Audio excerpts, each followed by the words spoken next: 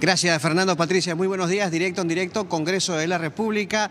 Bueno, la vicepresidenta Karina Beteta, vicepresidenta del Parlamento, ha hecho un pedido al presidente de la República, Martín Vizcarra, que evalúe la continuidad de Gloria Montenegro como ministra de la Mujer. Esto luego de las declaraciones que ha hecho Montenegro en el sentido de que Rosa María Bartra no debería presidir una sola comisión en el Congreso de la República. Aquí tenemos justamente sus declaraciones.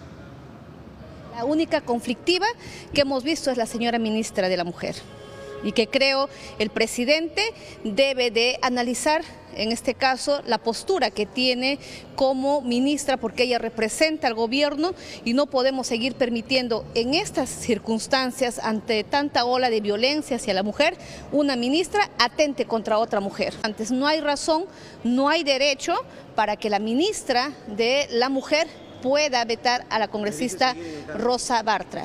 Yo creo que el presidente tendría que analizar, ¿va a tener una ministra que busca confrontar con el Parlamento o quiere ministros que faciliten y ayuden a seguir gobernando por el bienestar del país?